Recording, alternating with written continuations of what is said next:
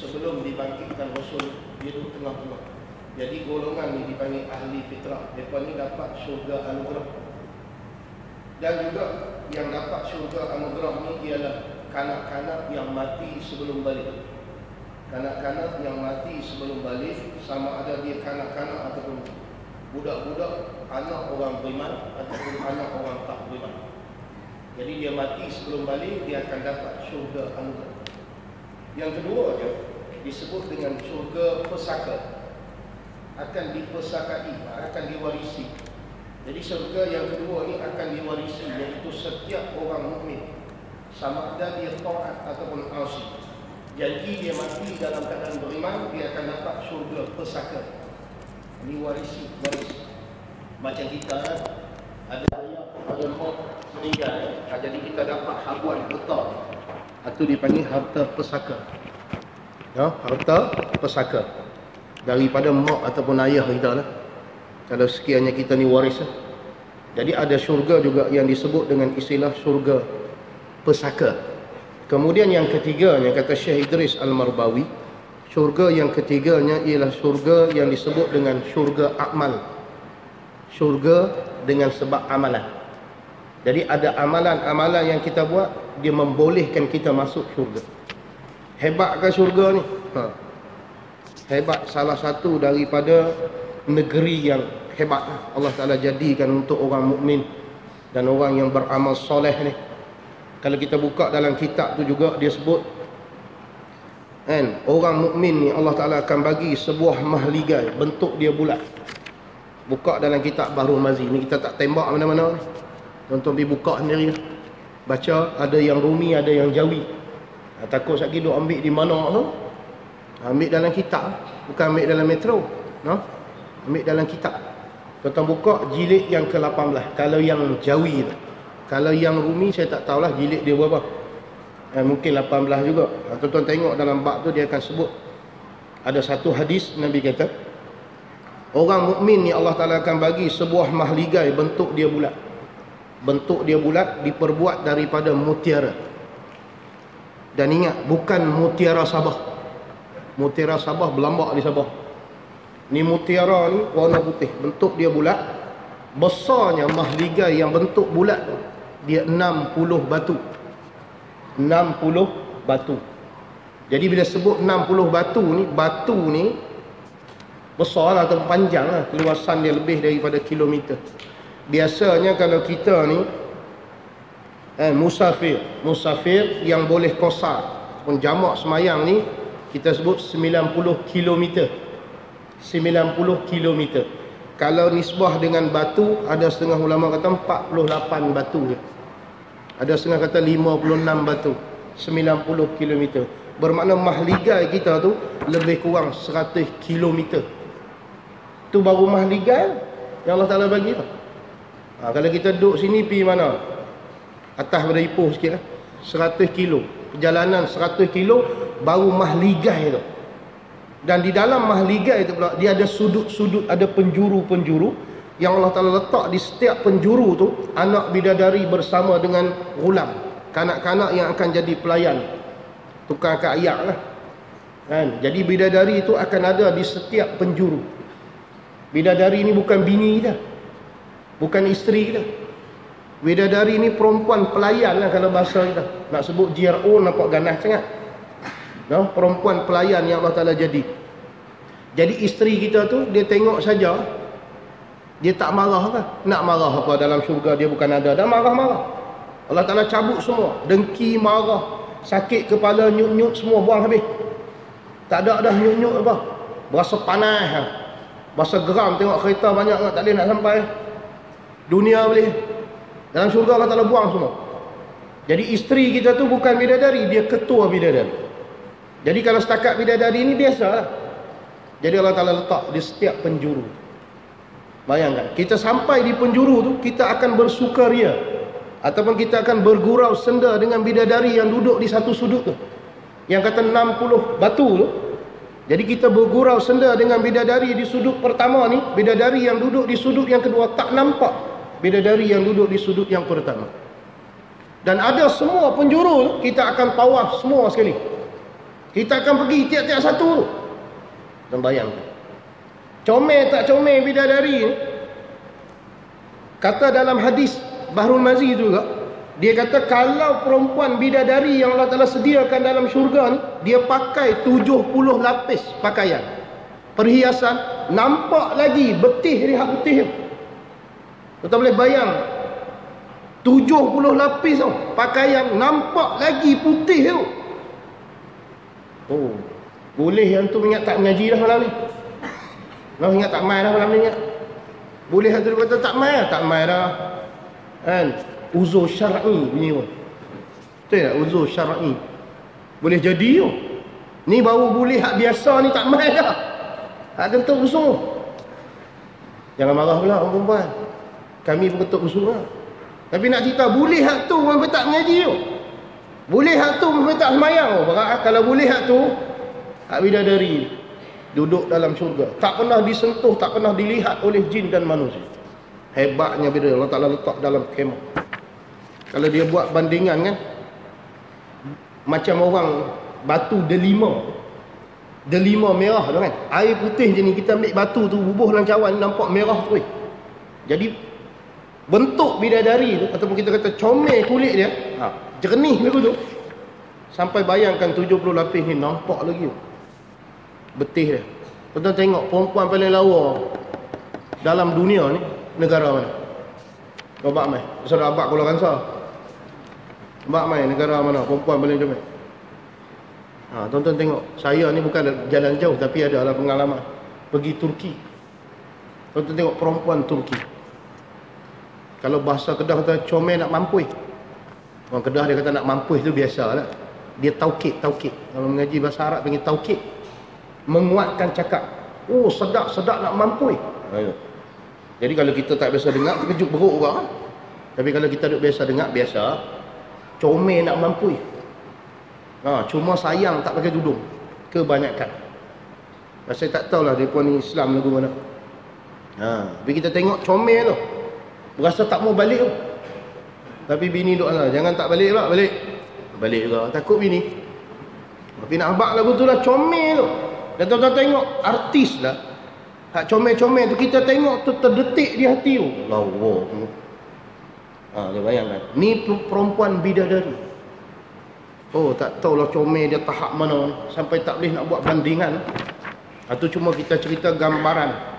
Sekurang-kurangnya macam tu lah tapi dahsyat lagi bidadari. Dan kata dalam kitab tu tik telinga pun tak ada. Kalau habak mudah tik telinga pun tak ada bidadari tu. Hingus yang sahabat kan? No? Ha hingus yang sahabat dia tak ada. Benda-benda cemar ni tak ada. Sebab tu dalam syurga dia tak ada tanda makan banyak sakit perut nak terberak. Eh tak ada tak ada tak ada. Berak apa semua tak ada. Pasal dia tempat cemar Allah Taala tak letak dalam syurga jadi orang makan dalam syurga bukan untuk kenyang Orang makan untuk bersedap-sedap. Ha, sebab tu kita nak tiket ni. Kita habak lah tiket tu. No? Ha, kita habak dulu syurga tu. Pasal kita nak nak tiket tu. Bagi dapat tiket tu. Pasal Allah Ta'ala sebut dalam Al-Quran. Hebatnya tempat syurga. Dan kalau gambaran dalam sebuah kitab. Yang dikarang oleh Syekh Osman Jalaluddin Al-Kelantani. Pengasas pondok penanti Bukit Mertajam.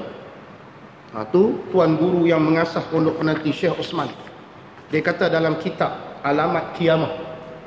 Dia kata hebatnya gambaran syurga. Dia kata seorang penduduk syurga bila dia masuk dalam syurga nanti akan ada masa untuk dia duduk di luar rumah dia. Duduk tengok pemandangan yang ada di dalam syurga tu lah. Jadi Allah Ta'ala akan hadirkan beberapa ekor burung terbang depan dia. Atas dia tu terbang burung. Dia pun tengok burung tu. Bila dia tengok-tengok burung tu, oh terdetik di hati dia ish kalau boleh makan burung ni sedap ni terdetik di hati. Burung tu jatuh masak siap.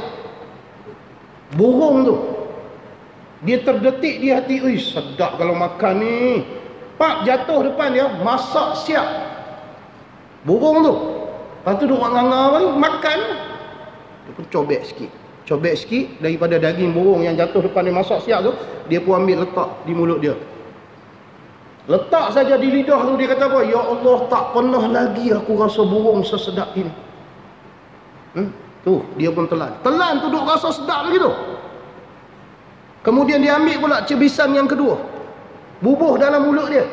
Uh, lagi sedap daripada cebisan yang pertama. Burung yang sama. Kita boleh bayang tak? Hebatnya syurga. Tuan-tuan makan buah durian musangking tau. Musangking apa? Duri hitam tak kira lah. Duri nama apa. Sedap tak? Kita ambil seulah ya, kita pun makan. Oh, sedap gila. Sedap RM30 sekilo. Kan, oh, sedap. Habislah seulah. Ambil pula ulah yang kedua makan. Sama. Sama rasanya. Dia tak ubah. Pasal itu makanan dunia. Lepas tu hang makan-makan banyak, ha mula kek berapa? Cari tanda kena bayar pula tu. Biasalah tu dunia. Sana makan bukan untuk kenyang, dia untuk sedap. Oh tu nikmat syurga. Cawan tinggal semua mah.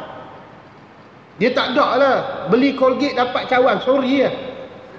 Yang tu di dunia boleh hang beli Colgate susah dapat cawan tu pinggan. Oh tu pun seronok tak kira. Tak guna oh, bolan cermin tu. Dia tak guna, tak guna Colgate punya.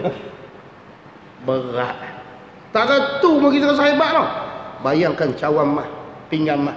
Di dunia kita tak boleh guna. Di sana Allah Ta'ala bagi syurga. Tu hebatnya. Kemudian kita tak mati. Duduk di sana kekal selama-lamanya. Paling lekeh benda yang Allah Ta'ala bagi. Kalau kita nak nisbah dengan dunia Kita ambil tempat letak kasut. Dalam syurga tu.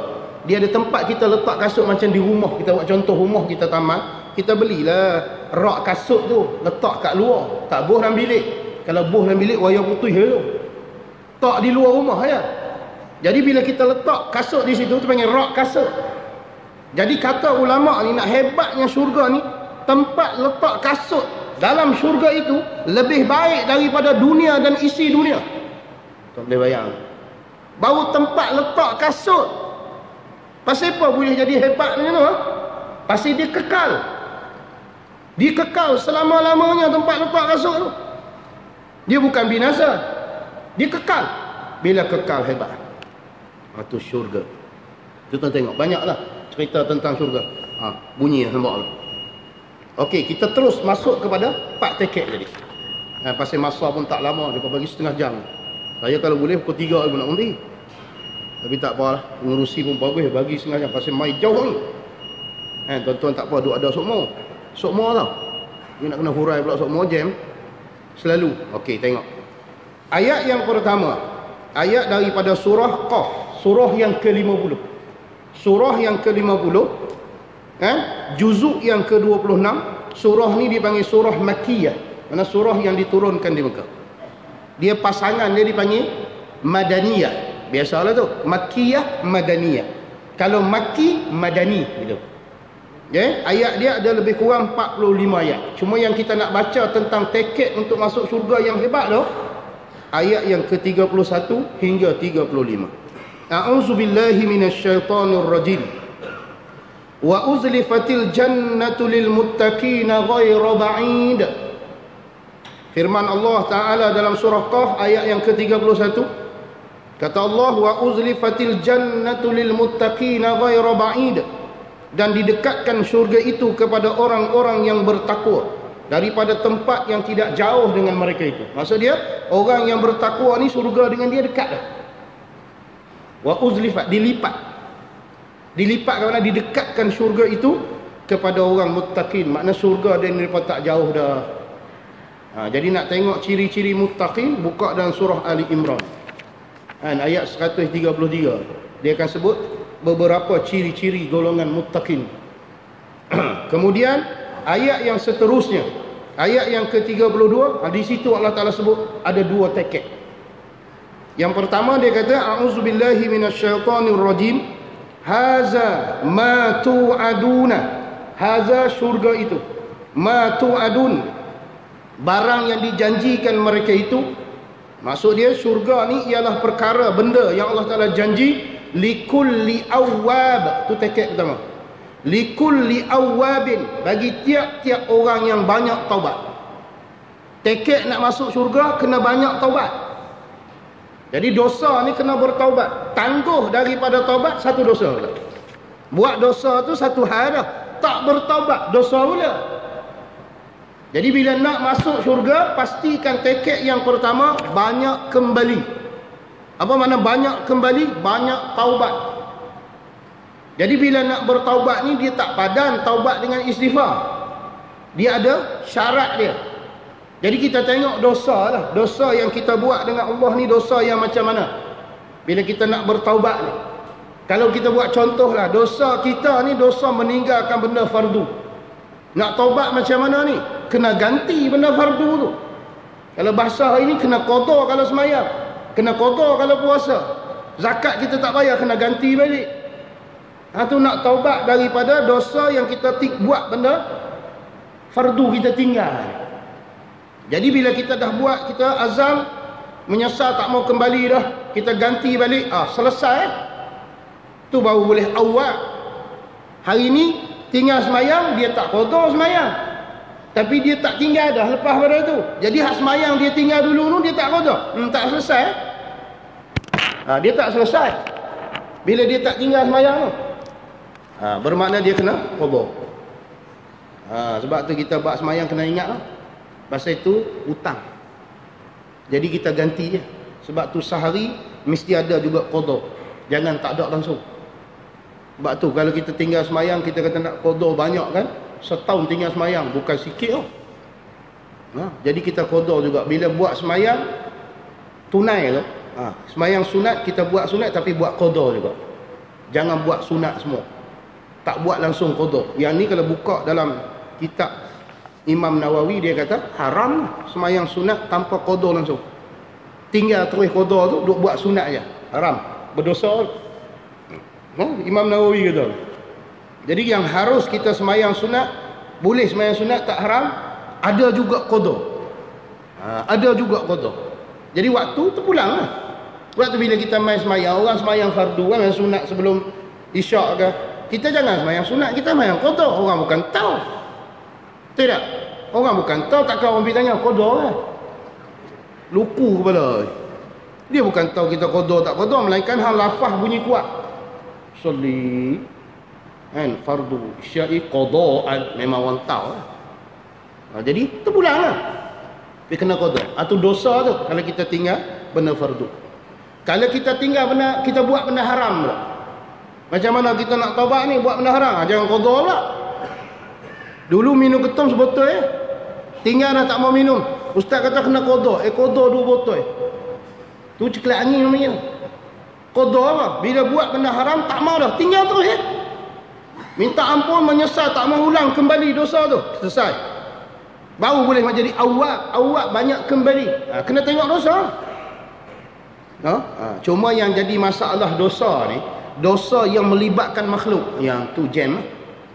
Dosa yang melibatkan manusia kita dosa dengan mak bapa dosa dengan kawan dengan jiran yang tu tak padan istighfar kita kata kawan kita kan kita kata adik beradik kita ha ataupun kita ambil barang dia ha ni nak taubat kena pulang kembali barang ataupun minta halal tidak tak selesai bila tak selesai tiket pertama pun tak ada jadi tiket pertama ni banyak taubat jadi bila banyak taubat tengok dosa. Baru kita boleh dapat tiket pertama. Banyak taubat. Ha, jadi antara kaedah yang nak bagi kita ni banyak taubat kena banyak istighfar, minta ampun. Ha, mudah-mudahan Allah Taala buka pintu hati kita supaya kita ni bertaubat daripada dosa. Dan tuan-tuan tengok akhir zaman. Macam-macam tanda Allah Taala tunjuk. Kan? Kalau kita tak ambil pengajaran ni berat. Masa masa kita ni suntuk pasal kita duduk zaman yang akhir ni nak keluar Imam Mahdi ni tanda-tanda kiamat saya cerita hak kecil ke hak sedang berlaku ni boleh kata hmm, habis tinggal hak besar je kita tengok no? tu kita takut tu, tu kadang-kadang dia duduk tunjuk di Mekah kan di Jidah di Mekah ni oi kita rasa lain takut pasal takut tak dan kita nak jadi golongan yang banyak kembali Pasal bila kita tak dan ambil tiket tu, oh takut tak dapat syurga Allah. Jadi kena pastikan kita ni banyak kembali. Banyak taubat. Ha, sebab tu ada benda kan amalan yang boleh buat kita ni nak bagi ingat kepada Allah, buat amalan. Kan antara dia banyakkan istighfar, minta ampun kepada Allah. Mudah-mudahan Allah Ta'ala gerakkan hati kita ni, kita bertaubat daripada dosa yang kita lakukan. Sama ada dosa kita sebut tadi, yang melibatkan hak Allah, ataupun dosa yang melibatkan hak makhluk. Settle buat. Kan? Ha. Pasal kita bukan Nabi. No? Nabi ni dia maksum, dia tak ada dosa. Kita ni tak boleh lari. Jadi bila tersilap, ha, minta maaf cepat-cepat. Itu kadang-kadang bila ada macam ni, mai semayang ramai-ramai. Eh. Bila kesempatan bersalam. Kan? Salah satu sunat kita selawat kan. Allahumma salli ha, Jadi bila kita selawat tu, kita gunalah kesempatan. Lepas pada selawat, kita kata, ah, kalau ada salah silap, minta maaf banyak-banyak. Mana? Kosong-kosong. Mana? Ha, gunalah kesempatan. Kalau kita dosa dengan dia, settle lah. Ha, mudah kan?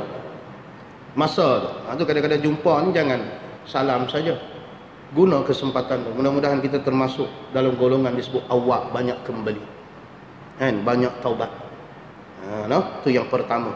Tiket untuk masuk syurga banyak taubat. Yang keduanya kata Allah Subhanahu wa taala sambungan ayat tadi haza ma tu'aduna likulli awabin hafiz. Tiket yang kedua disebut dalam bahasa Arab dia hafiz. Hafiz ni biasalah kalau kita mengaji hafiz bu hafiz ni orang yang hafal Quran orang yang menghafal Quran 30 juzuk ke 15 juzuk ke kan 10 juzuk ke tapi hafiz di sini bukan mana orang yang memelihara Quran tu dia mana orang yang memelihara janji. Orang yang tidak memungkiri janji. Ha dia jaga molek. Sebab tu bila bab berjanji ni ingat molek sikit. Sebab tu orang ajar. Syarak agama aja bila kita berjanji lapik. Kalau bahasa kita lapik dengan insya-Allah supaya kita tak jadi orang yang mungkir janji. Pasal tekek nak masuk syurga jangan mungkir janji. Hafiz orang yang memelihara janji. Berapa banyak kita berjanji? Kita tak tunai janji. Jadi tekek nak masuk syurga yang pertama tu yang kedua tak ada. Ha, sebab tu jangan duk berjanji sangat. No, hari ni berjanji ni berjanji ni tak tunai tanggung lah. ha, cuma bila sebut bak janji dia sensitif sikit kan. Faham-faham sajalah No, zaman lah ni bila sebut bab janji, ha, saat lagi tak boleh mengajak tu ya. Kan? Pasal kita nak sebut teket. Ha nak fikir kok lain punya pasal. Ni nak kita nak cerita teket. Nak masuk syurga ni menyempurnakan janji. Jadi kalau mungkir janji tak dapat teket tu. Jadi kalau kita nak fikir masalah oh politik lah, color lah, itu hang punya pasal eh. Ni kita sebut hafiz dengan makna orang yang memelihara janji. Waktu bila janji lapik lah, insya-Allah. Ha insya-Allah, insya-Allah. Oh confirm, renti. Ha tengok-tengok tak boleh sunat. Nampak lagu mana? Ha kena minta maaf lah. Pasal anda janji. Dia orang tuntut janji. Tapi janji yang pertama yang kita kena ingat tau, janji kita dengan Allah. Tu janji kita dengan Allah tu yang pertama sekali. Kita berjanji dulu di alam roh ni termasuk saya tuan-tuan puan semua ni berjanji dengan Allah ni di alam roh dulu. Alastu bi rabbikum? Allah Taala tanya. Adakah tidak aku Tuhan kamu? Kita jawab di alam roh dulu, kita kata bala. Bahkan syahidna kami naik saksi engkau Tuhan kami. Tu perjanjian pertama di alam roh dulu. Mari di alam syahadah ni kita dah janji kan Allah Taala Tuhan kita. Mari alam dunia ni tak sembahyang. Mari alam dunia ni tak bayar zakat, tak puasa bulan Ramadan, tak tunaikan kewajipan-kewajipan yang Allah Ta'ala suruh buat tu. Bermakna kita mungkir janji. Bila kita mungkir janji dapat tak tekek tu? Tu janji dengan Allah janji dengan isteri janji dengan anak. Ha. nu baru ni kita berjanji dengan anak kita. Duit raya anak banyak kita ambil tu. Kan buat bayar BAP lah apa lah. Lepas tu janji dengan dia nak bayar balik. Tak bayar sampai lah. Duit anak kan mereka rajin pergi jalan rumah orang dapat duit. Kita tengok banyak kita ambil dulu biar biar ayah simpan ayah simpan. Pandai ayah. Kan simpan lah pokek dia. Janji dengan anak tak apa nanti ayah ganti. Tak ganti sampai lah. Kena ganti. Pasal itu janji tu. Ha, tu ingat boleh jadi kalau kita ni jenis orang yang mungkir janji teket yang kedua ni tak dapat. Ha, tak usah duk cerita kemah bidadari lah apalah kaki tak ada can sebab tu kena pastikan bila berjanji tunai no, ha, tunai janji tu. Ha, sebab tu kalau tak boleh tunai jangan janji. Ha, tak berani janji no, tak berani janji ha, bak terus. Apa orang panggil kita kenuri lah. Bagi kita kad kan. Ha, ustaz ni nak jemput kenuri ni, kita pun tengok tarikh kenduri dia tu. Oh 27 hari bulan. 27 ni pi Mekah. Kita pi Mekah. Dia kata insya-Allah insya-Allah benda ni. Habaq tu ya. Kalau kita dah tahu kita memang tak ada 27 tu kita akan terbang Mekah kita bang insya-Allah noh. Insya-Allah Melayu tu. Memang tak pi tu. Eh. Jadi tak payah insya-Allah kita habaq. Oh, minta maaf banyak lah noh. Saya pasal 27 hari bulan ni nak terbang pergi ke Mekah. Oh minta maaf lah saya tak boleh pergi ya noh. Ah selesai. Kita tak janji apa. Ha, ni tengoklah noh, tengoklah noh, tengoklah noh, tengoklah. Padahal dah tahu dah hang tak boleh pergi. Mak. Ha, jangan nak janji lah. Ha, minta maaf lah saya tak ada janji noh. Ha, kalau ada insya-Allah. Lagu tu. Ha, macam ni. Janji nak mari awal. Eh, no. nak mari awal tengok-tengok tu 8 setengah sampai ustaz. Janji mana tu? Duk sembang kemas. Eh, tapi saya tulis tak. So saya kata insya-Allah. Ha, tanya tu bahagian tu dia hantar mesej dia ustaz ada di mana ha, jangan lupa ustaz malam ni ha, saya kata okey insyaallah ha, jadi saya dah lapik siap lah sebab tu mari lapan senang kan ha, masa nak buat lagu mana bukan kita nak kalau boleh nak mari awal lagi tapi dia jadi lagu tu ha, janji jadi tak ada masalah ha. tu tekek dia hafiz memelihara janji ha, tu tekek yang kedua pegang betul-betul tak kira janji dengan siapa pegang pegang janji betul-betul Ha, lebih-lebih lagi janji kita dengan Allah dan Rasul. No? Ha, Nabi kita Muhammad sallallahu alaihi wasallam ni depan sahabat dia. Dia sebut tentang kita semua. Dia sebut dalam hadis dia kata, Nabi tanya sahabat dia, "Hangpa tahu tak iman siapa paling pelik?" Sahabat jawab, "Iman malaikat." Nabi kata, "Tak betul." Ha, iman segala nabi, Nabi kata tak betul. Iman segala sahabat tak betul. Nabi kata iman golongan yang akan hadir ataupun muncul selepas aku. Selepas wafat aku akan muncul satu golongan. Depa ni tak pernah tengok aku. Tapi depa percaya aku. Depa ni tak pernah dengar cerita ni, tak pernah tengok benda mukjizat, tak pernah tengok. Dengar cerita ya. Tapi mereka membenarkan aku. Ni kita kita bukan boleh tengok mukjizat Nabi. Tapi kita membenarkan Nabi kita Muhammad sallallahu alaihi wasallam. Tu Nabi sebut tentang kita, sebab tu kita janji akan jadi umat Nabi yang terbaik. Itu tekad yang kedua. Kemudian tekad yang ketiga. Sikit lagi tu. Man khasyiyar rahman bil ghaib. Ni ayat yang ke-33. Man khasyiyar rahman bil ghaib. Tekad yang ketiga, mereka yang takut ia akan Tuhan yang bernama Rahman bil ghaib. Mana? Bil ghaib ni tidak kelihatan. Mana kita tak nampak Allah, tapi kita ada tekad yang ketiga, takut, khauf, khauf, sifat khauf. Tekad yang ketiga nak masuk syurga ni Dalam hati kita ada sifat takut kepada Allah ha, so kita semayang lima waktu pasal apa ni? Pasal takut Takut seksa Allah tak semayang Jadi sifat tu, khauf tu tekad dia Nak masuk syurga Kena ada sifat takut, khauf kepada Allah Sebab tu orang hari ni tak berani buat maksiat sebab apa? Sebab takut kepada Allah Kita hari ni tak berani nak lalu jalan tu pasal apa? Trafik buat roadblock Lesen tak ada Selamat tak kita? Selamat pasal kita takut. Cuma berani tengok. Kena tiga tu. Tu pun kalau boleh kau tim. Tak ada kau tim, kerah yang bayar. Eh? No, ha, jadi perasaan takut tu menyelamatkan kita. Lebih-lebih lagi takut kepada Allah. Apa maksud takut kepada Allah? Takut seksa.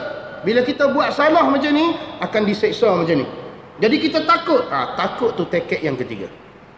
Kena pasti kan? Ha, tu hari-hari lah. Khotik ittaqullah, ittaqullah. Bertakwalah kamu kepada Allah, takutlah kamu kepada Allah. Ah, ha, takut tu tekad. Batu hari ni orang berjaya buat ibadah pasal dia takut. Batu orang dah buat maksiat dia tak ada sifat takut tengok dia buat lagi. No? Ah ha, tu man khasyar rahman bil ghaib tekad yang ketiga. Takut, khauf. Simpan tekad. Ha, tekad pertama ada, tekad kedua ada, tekad ketiga ada. Eh. Ha, perasaan takut. Ha, tu dalam kitab tasawuf dia ada bab dia kan. Babu khauf kan, war raja. Ha, sifat takut dan mengharap. Ha, tu. Takut. Ha, kena ada. Ha, nah, macam kita takut hantu lah. Ada orang dia takut hantu kan. Saya takut juga hantu. Pasal satu, sebab kita duk tengok cerita hantu banyak kan. Jadi sebab tu kita takut hantu. Kan? Dulu orang tua-tua pesan lah. dia bila kita nak beri hilang sifat takut ni salah satu dia mari dengan salah satu sebab dia kita rajin berak tengok najis bila kita buang air besar kita tengok tengok. Buang. Tu mari takut tu. Sebab tu jangan tengok. Buang najis ha, tak tengok tak betul lubang. Duk betul-betul lah. Lepas tu ha, biarlah. Jangan nak buat. Oh Allah sayang ha, orang tua-tua petua-petua bukan hadis sahih. Saya pergi duk cari pula dalam sahih muslim tak jumpa. Jam. Ni nak cerita petua orang dulu-dulu. Orang berani ni dia tak tengok najis hak dia buang. Ha, kita duk tengok najis penakut tu. No? Ha, jadi takut tu hantu tu. Nak takut tu takut Allah. Ha, kemah? Takut hantu ni tak pi dah jalan tu. Dulu kami duduk di pondok dulu. Dia ada satu pokok besar tu. Pokok tu dia ada ranting kayu tu turun ni. Satu hari tu budak pondok lalu terlekat serban. Lari tak tahu kata hantu pegang serban. Pagi esok tengok sangkut di ranting. Loh, ingatkan hantu punya ranting. Punya takut lah. Ha, jadi nak itu, takut. Sifat tu. Yang teket untuk masuk syurga.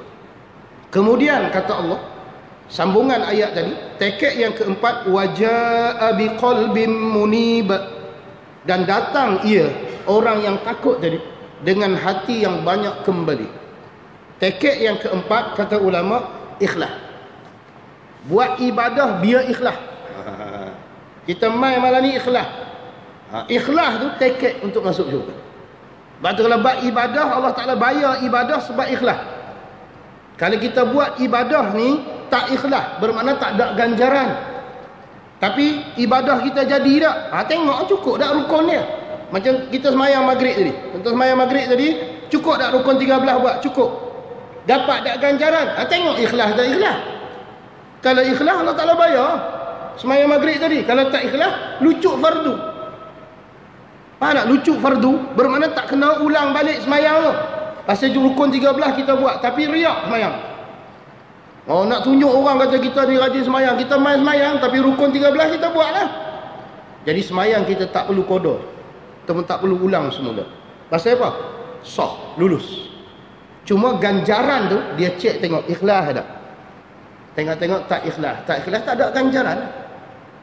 Ha, sebab tu buat ibadah biar ikhlas. Sikit banyak orang tak bincang, yang penting ikhlas.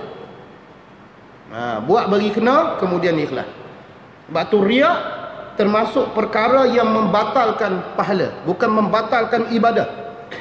Kalau kita buka dalam kitab tasawuf, Imam Al-Ghazali dia sebut riak-riak ni ataupun sifat-sifat mazmumah ni dia ni disebut qawadih kawadih bahasa Arab ni. Perkara-perkara yang mencederakan pahala amalan. Itu dipanggil kawadih. Jadi sebelum kita nak buat amalan, kita kena pastikan benda amalan yang kita buat ni jangan ada perkara mencederakan pahala. Jadi perkara yang mencederakan pahala tu riak salah satu. Ujub, berasa kemah. Tu semua cedera pahala. Tak dapat pahala. Tapi semayang tak kena kodoh. Lucu fardu. No? Ha. Jadi kita kena tengok tu. Ikhlas tekek nak masuk juga. Sebab tu masa duk pondok tu guru ajar sebab tu. Ajar dengan perbuatan. Ha, Pak Tih, arwah Pak Tih. Saya belajar dulu di pondok Pak Tih. Dia ajar dengan dengan perbuatan. Mana dia sebut dan dia tunjuk. Sebab tu tanyalah siapa-siapa yang pernah belajar di pondok Pak Tih yang jadi kepala mutalaah. Maksud yang boleh mengajar. Yang dilantik oleh Tok Guru mengajar ni. Ha, Tok Guru dia akan bayar bayar sagu hati ya. Sagu hati ni dia bukan bagi tiap-tiap bulan, kadang-kadang 3 bulan, 4 bulan sekali bagi. Bukan banyak, RM50 ya. Hmm, dia bukan gaji. Dia ajak lagu tu. Ha, ni sagu hati. Kadang-kadang 3 bulan. Kalau kata gaji tiap-tiap bulan kau dapat. Dia dia, dia buat macam tu, latihan lah. Supaya kita tak mengharapkan benda tu. Oh, Tok Guru dia ajak. Ha, sampai tak tu. Masa duduk pondok tu, Tok Guru ajak. Ha, bagi ambil, tak bagi sudah.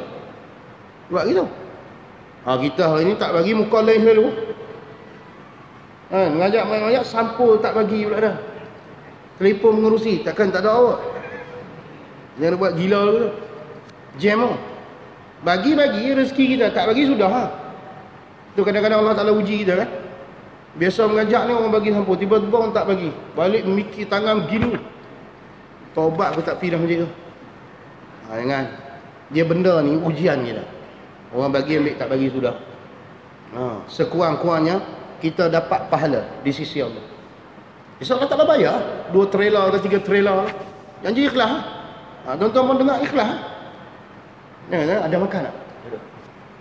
Dia kira makan lah. No? Ha, ikhlas kerana Allah. Ha, tu teket dia. Pasti kan? Jadi ikhlas ni dia, dia kena buat latihan tau. Dia bukan boleh mari sendiri. Ha, sebab tu ulama tengok dia ajak kita. Kadang-kadang ada orang dia berlafaz kan lafaz. Antara lafaz yang biasa dia sebut apa? Lillahi ta'ala. Ha, macam kita kata. Sahaja aku puasa esok hari fardu bulan Ramadan.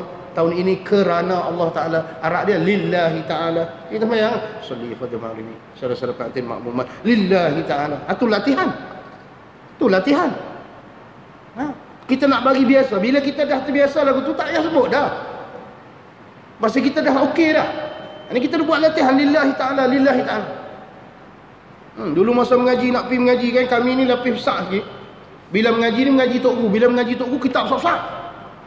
Oh, masa ambil kitab di pondok tu okeylah, ikhlas lagi. Turun-turun bawah pula dia berkata, "Ui, kitab besar oh, dia riak dulu." Dia riak dandan tu. Pasal dia pun mengaji kitab kecil, kita mengaji kitab besar. Oh, dia berkata, oh, "Kitab besar gila."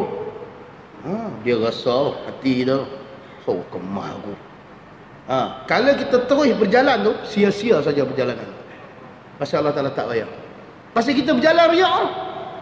Ha, tok guru ajak berhenti dulu. Berhenti, istighfar dulu. Astagfirullahalazim. Astagfirullahalazim. Aku mengaji kerana Allah. Ha, baru pi. Baru dia bayar tu langkah.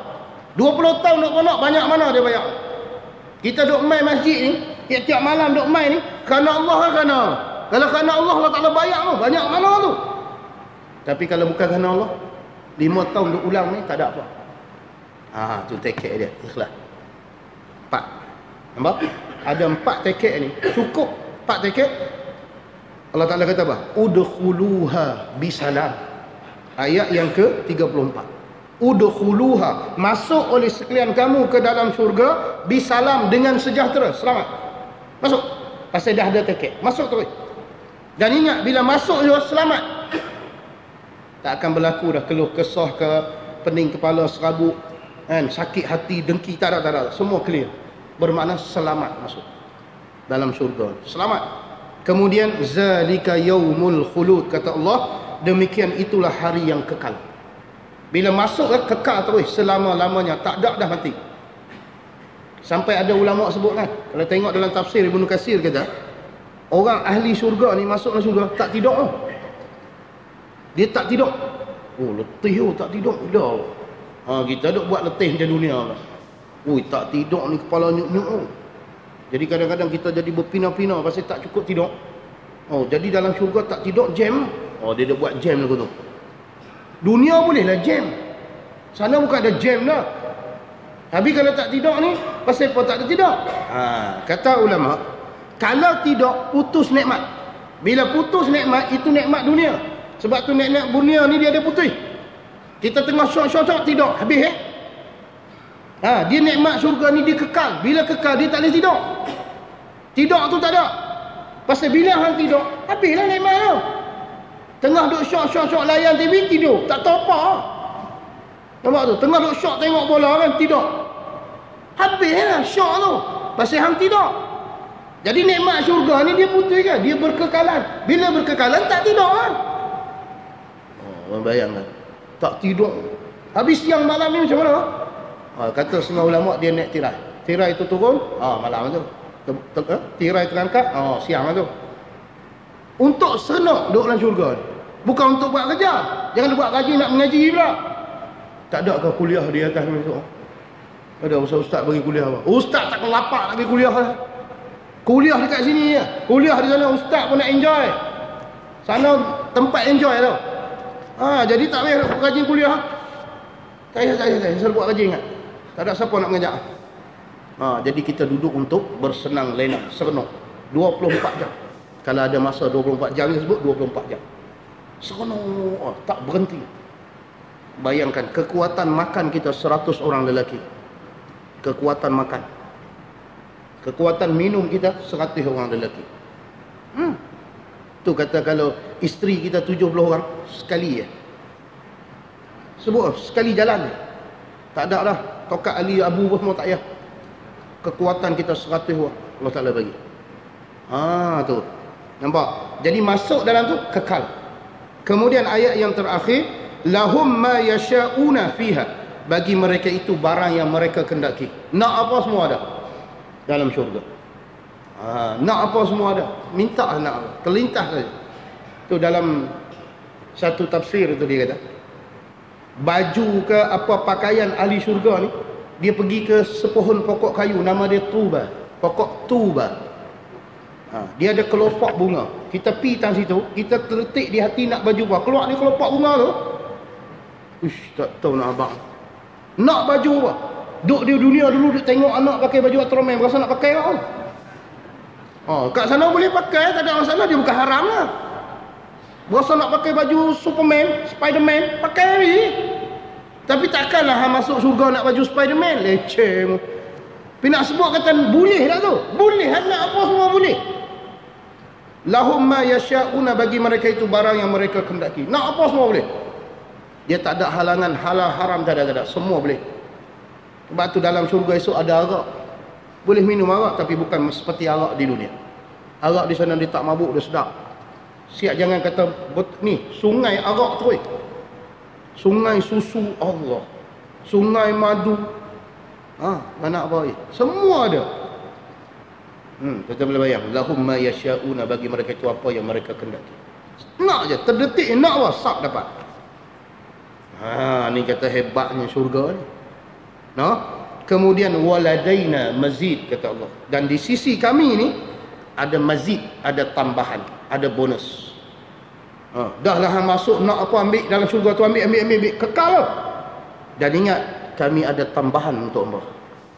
Siapa yang masuk syurga ada empat tiket jadi dia akan masuk surga dan dia dapat nikmat apa-apa yang dia nak kemudian dia akan diberi mazid mazid ni benda tambahan benda bonus yang ni banyak khilaf ulama ada setengah ulama kata mazid ni iaitu melihat zat Allah Ta'ala. Tu mazid dia. Melihat zat Allah Ta'ala. Ha? kita akan melihat zat Allah ni lah nikmat paling besar sekali dalam syurga. Dan ada setengah ulama kata mazid ialah hari Allah Ta'ala jadikan untuk kita ziarah menziarahi. Anak murid pergi ziarah Tok Hu. Tok Hu ziarah anak murid. Anak ziarah ibu bapa. Tu mazid tu. Ha, tu mazid kita tu ada hari yang Allah Ta'ala bagi untuk kita semua ahli syurga ni ziarah menziarahi tu mazid dia ha, jadi bila masuk syurga ada bonus ada tambahan dia no? ha, saya pun berhenti ya kan pasal masa pun dah telajak tu Lagi tuan-tuan pun rasa lain macam lah. Jadi kita berhenti tentu. Mudah-mudahan apa yang kita kongsi dengan sedikit tadi menjadi manfaat lah untuk saya dan juga tuan-tuan dan puan-puan yang hadir. Sekadar tu saja untuk malam ni. InsyaAllah panjang umur murah rezeki kita akan bertemu lagi. Terima kasih kepada pengurusi masjid lah. dan juga bahagian dakwah yang sudi memberi ruang untuk saya berkongsi ilmu dengan tuan-tuan. Jadi kalau percakapan saya tadi tu ada yang mengguris hati ke, terasa ke saya minta maaf lah. Nah. pada waktu dulu Assalamualaikum warahmatullahi wabarakatuh minasyaitonir rajim Bismillahirrahmanirrahim Alhamdulillahi rabbil alamin wassalatu wassalamu ala asyrafil anbiya'i wal mursalin wa ala alihi washabbihi ajmain Allahumma ta'ala wa fina rizqana ya rabbi faman nabiyina mursalin Muhammadan wa sallallahu ala sayyidina Muhammadin sallallahu alhamdulillahi rabbil